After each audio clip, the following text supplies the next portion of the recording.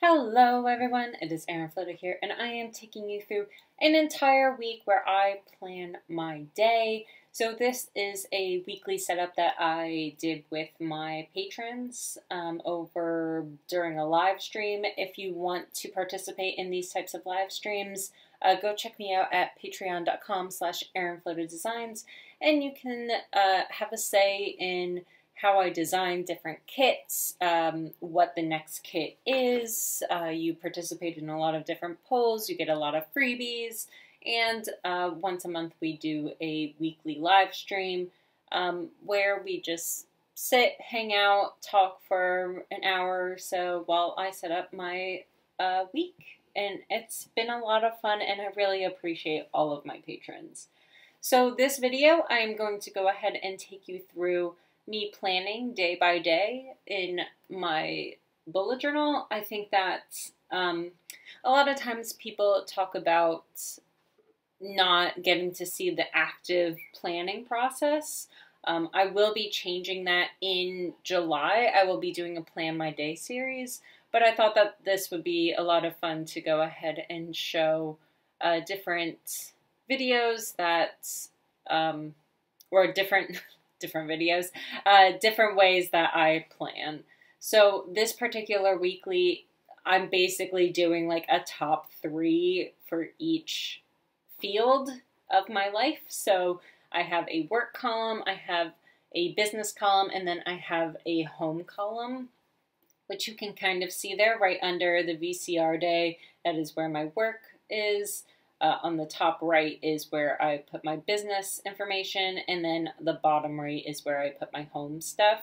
So, a lot of times um, when I am trying to not be stressed, I will do a layout like this where I really uh, try to condense my to do list. There are other things that I do besides this list that I have out, but usually those are like smaller tasks. And so I'll just put like the big tasks here.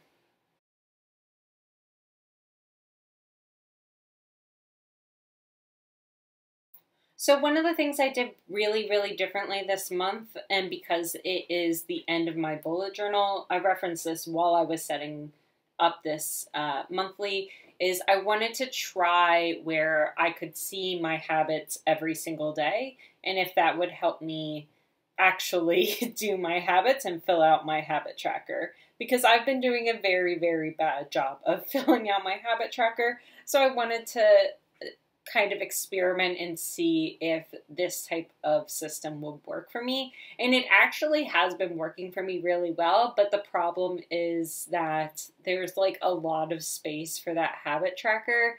And I'm not going to do a Dutch door every single week for every single month because that will make it very difficult to plan in my planner because of how, uh, like, the middle will be very, very large and then the ends will be smaller. So it's definitely more difficult to plan out that way. Um, so I, I, I like this setup, but it's obviously not something that I can do every single month.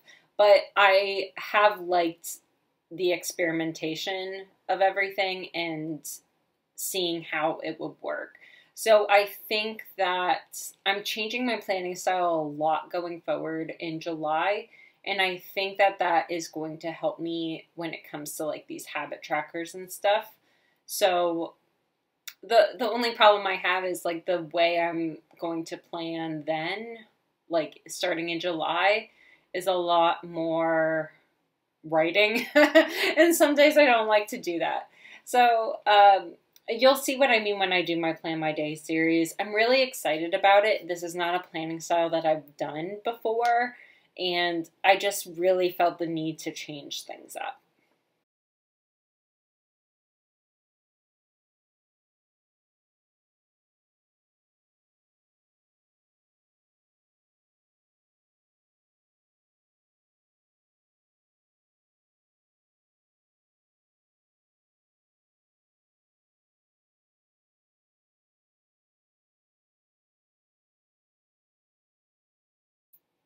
One of the other things that I really like using my bullet journal for is self care type of things.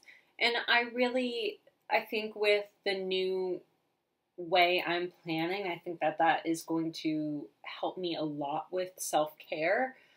Um, uh, so basically, you'll you'll see it when I start doing the plan with me. Basically, I'm going to do a lot of like sketch notes and things like that. I I've actually been like thinking about this for probably um since maybe March when things started uh becoming a little bit more difficult with my mental health. And then I was watching the workshop week with like how to do sketch notes and things like that. Um, and I will link that kind of information uh, from the person that um, conducted that particular segment of workshop week. And I just, I really love the concept of that and trying to kind of free yourself a little bit and, and get creative with your to-do lists and things like that and and just like marking things that happen during your day it's something that i've really loved about bullet journaling and i think that doing things day by day will be a little bit easier and in I, i'm moving into a b5 notebook which is terrifying for me but um I think that this type of style will will really lend itself very nicely to a B5 notebook. So um, I'm really excited to try it out and see how it works, and um, hopefully you all like it too and, and find some inspiration from that as well.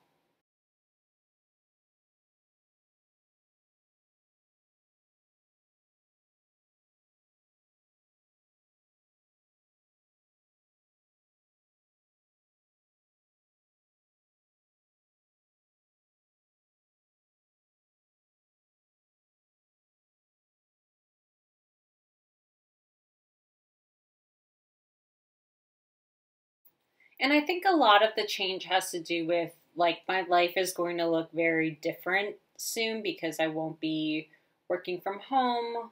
Um, and I I think that how I have things spread out among a lot of different notebooks has worked really well for me uh, while I've been working from home.